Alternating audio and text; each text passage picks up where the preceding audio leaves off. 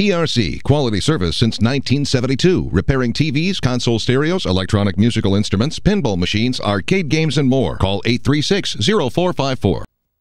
I'm James Spann. This is our Weather Xtreme video. This is for Thursday morning, the 3rd of April. Historic Alabama Weather Day, today and tomorrow. It just seems like something happens every year on either April 3rd or April 4th of significance, and we could be looking at a pretty decent uh, severe weather threat tomorrow and maybe a few scattered strong storms later today.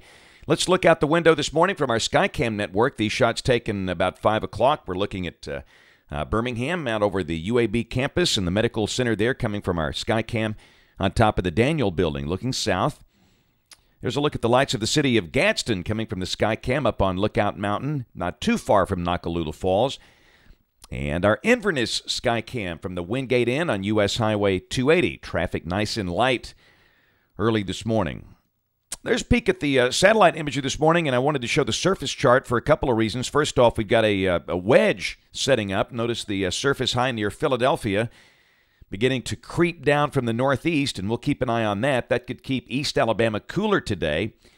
And also, there's a stall front. Now, this graphic has the front over uh, South Alabama. I think it's farther north than that.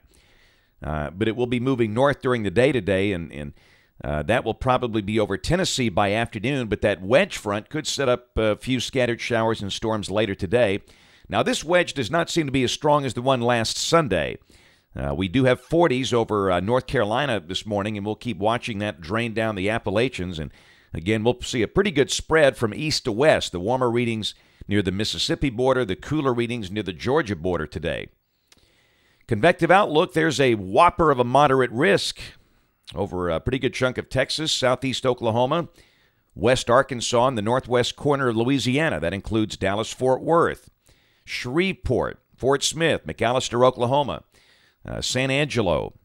And surrounding that, there's a slight risk all the way from West Texas up to, uh, well, almost Memphis, Muscle Shoals, Paducah, Kentucky, and almost as far north as St. Louis. So, uh, needless to say, we'll be watching all of that with interest today. And then tomorrow, a risk covers almost all of Alabama. It's a slight risk. And uh, there might be an upgrade uh, based on some of the parameters we're seeing as uh, if that keeps up later today. And then on day three, Saturday, the risk is uh, over for us, and it's over uh, on the Atlantic seaboard. Now, here's the latest QPF graphic, and I think this might be a little aggressive here. This is suggesting three inches, maybe four inches in spots over the Tennessee Valley, with uh, one inch for the southern half of the state. I think the amounts will be closer to one inch here. Uh, and again, isolated amounts, maybe to two inches. And this would be, of course, with any uh, scattered storms today and then the round of showers and storms tomorrow afternoon and tomorrow night. Here's modeling. This is the OZGFS valid at 1 o'clock today. This is at 500 millibars. Uh, the trough is showing up nicely out west. At the surface, again, it's the two features the warm front lifting north. And again, we think that will be over Interstate 40 later today over Tennessee. And the really good widespread soaking rain will be north of that front. We got the wedge coming down from the east. And uh, along that wedge front, uh, maybe along Interstate 65, there could be a few uh, showers and storms today. And uh, maybe some scattered strong storms, especially over West Alabama if the capping inversion can break over there. But again, the big severe weather threat is not today, it's, it's tomorrow and tomorrow night. Uh, tomorrow, the trough gets closer. And down below that, we've got uh, a surface low that is near Cincinnati with a trailing front. this is at midday, down through Little Rock and Dallas Fort Worth. And, and again, there is a very real chance we could see a few isolated storms developing out ahead of that, especially over the western part of the state, west of I 65 tomorrow afternoon. If those can pop up, uh, they could rotate and uh, maybe produce isolated tornadoes. And then at midnight tomorrow night, uh, we've got the squall line coming through here. And this run seems to be a little slower with the squall line than previous runs. Uh, there's a look at the uh, instability for uh, uh 6 p.m. I'm sorry, 7 p.m. I keep forgetting we're back on daylight saving time now. 7 p.m. tomorrow. And surface based CAPEs well over 1,000 joules along and south of Interstate 20. And the helicity values are quite high.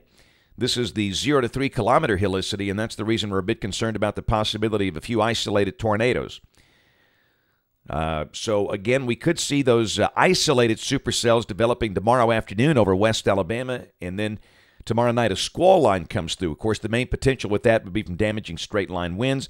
We'll go to uh, Saturday at one o'clock, and again, you can see how clearly this run is slower. It's still got rain south of Birmingham. Uh, so if this trend continues, we might have to keep rain in there maybe until 8, 9 o'clock Saturday morning. And then the sky begins to clear Saturday afternoon. Sunday still looks like a beautiful day as the front is stalled out just south of the uh, Gulf Coast. Monday, a disturbance passes north of the state. This run keeps it fairly far to the north and keeps us dry. And then on Tuesday, uh, again, the weather here looks dry. Another feature north of us around St. Louis.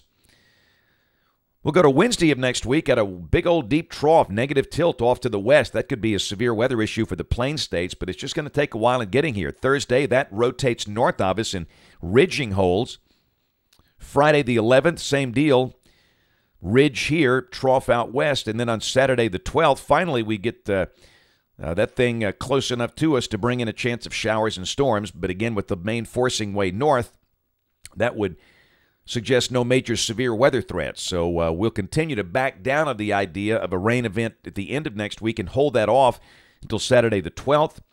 Got a couple of more days. Uh, the 14th, here comes a new trough, and that's suggesting a pretty good band of showers and storms. And three days later, look at that. There's our late season cold snap. Now, if there's any one good thing about that, we don't see that big ridge pumped up over the, the western part of the continent that maybe would tap true Arctic air, but still, that's cold that's again, this is the 17th. So just remember if you're a grower, the idea of a mid April cold snap with some frost or maybe a freeze is on the board. We just can't tell you exactly when or how cold yet. We're just saying it's out there. And of course, as uh, uh, that get closer, we'll have more confidence in the ability to tell you exactly uh, how cold and who gets it. That's it for the Weather Xtreme video this morning. We'll have notes on the blog. The next video here by 3.30 or so today. And, of course, we invite you to watch us on television this evening, ABC 3340 News at 5, 6, and 10 o'clock. Again, thanks for watching. Have a wonderful day, and God bless.